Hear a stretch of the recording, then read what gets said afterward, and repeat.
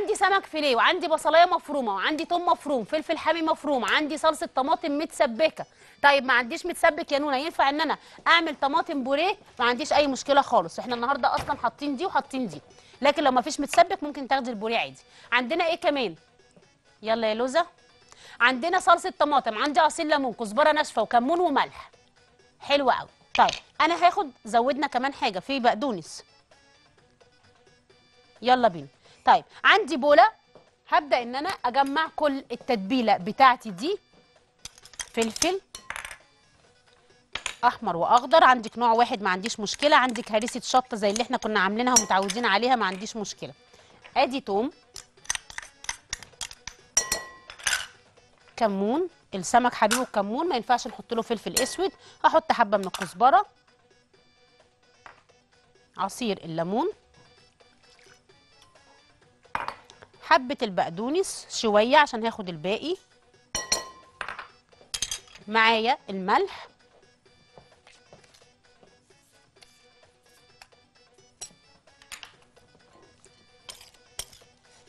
لا لا أمان أتبل ده كله كده مع بعضه.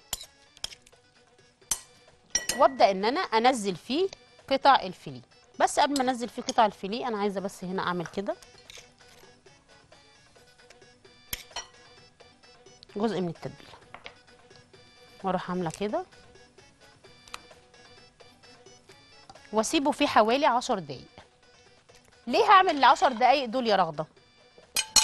ليه هسيب السمك في التتبيله عشر دقايق؟ الله ينور عليكي. علشان لازم يتشرب من التتبيلة اللي إحنا عاملينها. طيب هعمل كده. الوك اللي على النار أو الطاسة اللي أنا عملتها أو الجريل اللي أنا عملته حطيت فيه شوية زيت وسبته يسخن قوي وسبته يتقدح.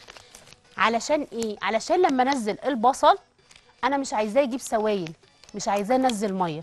طيب هنا كده أهو معلقة الزبده سامعين الصوت ده؟ ده الصوت ده اللي أنا عايزاه. الزيت يبقى مقدوح فأروح منزله قطعة الزبده فيبقى بالشكل ده. انزل إيه؟ انزل صلصة الطماطم علشان تتشكشك وتديني الشكل اللي أنا عايزاه والصوت اللي أنا عايزاه. وانزل البصل. هنا الصوص بتاعنا تمام وزي الفل. اعمل كده. نشيل بس من على النار عشان البكبكة دي عمالة تعمل في وشنا. بسم الله. حلوة قوي بس محتاجة شوية ملح بس شوية التتبيلة بتاعت السمك اللي إحنا حطيناهم مديين الصوص تطعيمة حلوة جدا. تحسوا إن إن الصوص نفسه مسكر. طيب هاجي هنا وأعمل كده. بالشكل ده كده. شايفين أنا بعمل إيه؟ ببدأ إن أنا أغطس الفيليه نفسه. جوه التتبيلة. واللي فضل من تتبيلة السمك حطيته على الوش. بالشكل ده. كده طيب. يلا بينا. يلا بينا.